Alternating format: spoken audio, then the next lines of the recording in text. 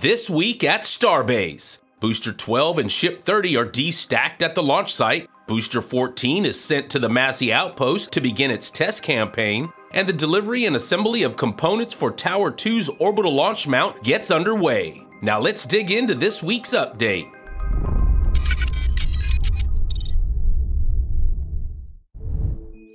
Friday morning at the launch complex began with a short run of concrete placed at the base of the new tower, with the pour wrapping up within an hour.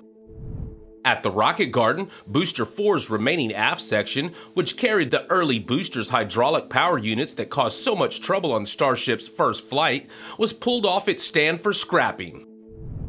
Construction continued at the office building expansion that connects it to the Star Factory building, with more steel being raised and installed. The chopsticks on Tower 1 at the launch site were opened from around Starship 30 and raised up to their launch and catch position. After spending some time open at the top of the tower, the chopsticks closed, lowered back down, and affixed to the ship's hardpoints. On Sunday, the ship's stand at the launch complex was moved to the launch tower as workers prepared to destack the ship from the booster. Work continued at the office building expansion on Monday as another column was lifted into place, further expanding the footprint of the structure. Rebar cages for foundation piles were lowered into place in the former location of the vertical storage tanks at the launch site as the propellant storage farm continues to be built out to support both launch pads. Workers continue to prepare Ship 30 for destacking, with the tower hydraulics retracting the ship quick disconnect interface panel from the Starship. Crews on the ship quick disconnect arm extended the work platform and began taping over the ship's ports to help keep them clean and free from water and debris. Once their work on the tower arm was complete, the arm was swung out and away, clearing the way for destacking. Starship 30 was lifted off Booster 12 about an hour later. The chopstick slowly lifted the ship off the hot stage ring, swung it over toward the waiting ship stand, and lowered it down into place. The ship quick disconnect arm then swung back toward the booster. Meanwhile, workers began taking down the safety netting between the first and second sections of the new launch tower. It's likely that the welders have completed their work closing the gaps in the higher tower segments. As twilight set in at Starbase, the LR11000 was used to remove the hot stage ring from Booster 12, completing destack operations and giving workers access to the systems at the top of the booster. Tuesday marked the start of a new month and saw the booster transport stand that was at the pad begin the return trip from the launch site to Sanchez and make its way up Highway 4 in the quieter hours of the night. More components for the orbital launch mount at Pad B were delivered to Starbase in the morning. These squared off components appear to be corner pieces for the launch mount. The new launch mount will span a large flame trench and appears to be a complete redesign from the existing mount.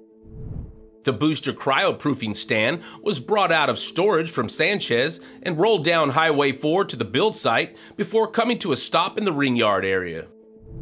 The booster cryoproofing stand was then brought into Mega Bay 1 as workers prepared to bring Booster 14 to the Massey outpost.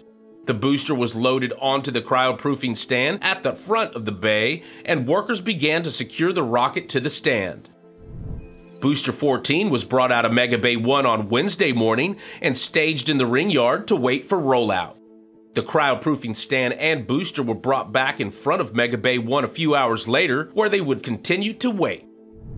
The Sarens CC 8800 crane was laid down at the launch site. It's not clear if it's undergoing maintenance or if the crane will soon be departing Starbase. It hasn't lifted anything since it was reconfigured. Scrap from Booster 4's aft section was shipped out of Starbase. Workers made clever use of the hydraulic power unit covers as buckets to carry some of the smaller pieces away. After the sun had gone down at the launch site, the chopsticks were raised up to the catching position on the launch tower.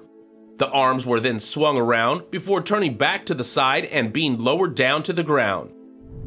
The Starship static fire test stand was brought out from Sanchez and staged alongside Booster 14 to join its rollout to the Massey outpost.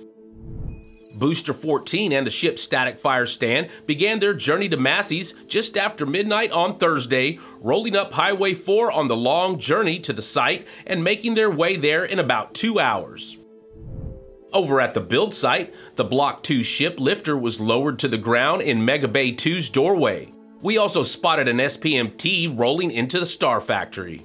The SPMT soon left Star Factory empty handed, though, and headed over to a staging area in the ring yard.